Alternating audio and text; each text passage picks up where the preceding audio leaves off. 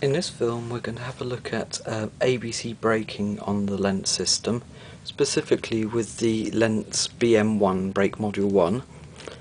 Um, I have a loco here fitted with a Lenz Silver series decoder. It also works on the Gold series decoders. Um, if we go onto the programming track, which I have here at the moment, and change CV51 to a value of 2, which is basically switching bit 2 on, we will have activated ABC braking. Here I've set up a demonstration track, so I've got my Lenz power unit there, the transformer, the handset, programming track, and the track runs around. I've wired in a, a BM1 module so that there's a feed here, insulation here, and it's on the right hand rail in the direction of travel.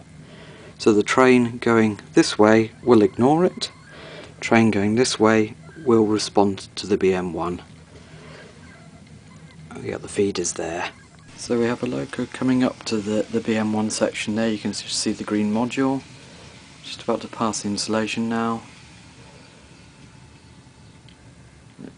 Brakes to a halt.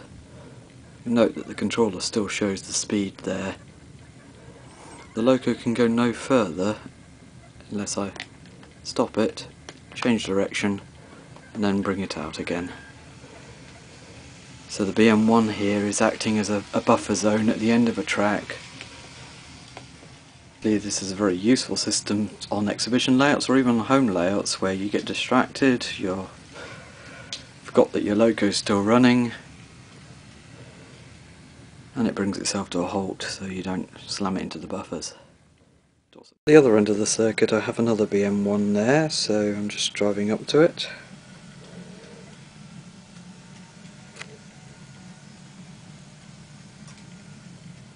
So the loco has reacted and stopped. So you see here that we're still on speed there. What I've got here is a toggle switch that I've wired in that then bypasses the, the BM1 module. So when I switch switch on, you see that the loco actually resumed at the last speed. Close the switch again and we stop again.